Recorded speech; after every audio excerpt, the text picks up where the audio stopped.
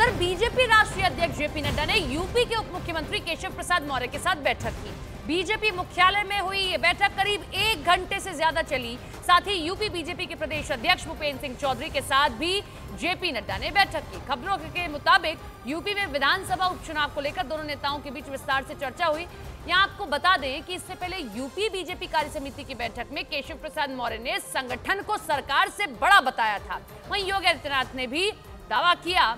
लेकिन सवाल बार बार लोगों द्वारा ये पूछा जा रहा है, क्या सब कुछ ठीक है? क्योंकि केशव प्रसाद मौर्य कार्य समिति की बैठक में कह देते हैं कि संगठन सरकार से बड़ा है और उसके बाद वो दिल्ली आते हैं, दिल्ली एक एक घंटे मुलाकात हो रही है। जेपी नड्डा से मुलाकात हुई भूपेन्द्र चौधरी से मुलाकात कर रहे हैं जेपी नड्डा। अब यहाँ पर दो चीज़ें हैं। समझना ये कि मंत्रिमंडल विस्तार भी होना और दूसरा नए प्रदेश अध्यक्ष का भी चयन हो सकता है।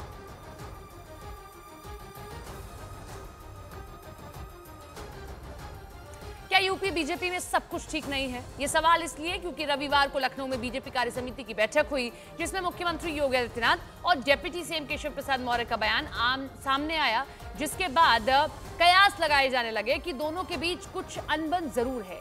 क्या कहा था दोनों ने आपको सुनवाते हैं।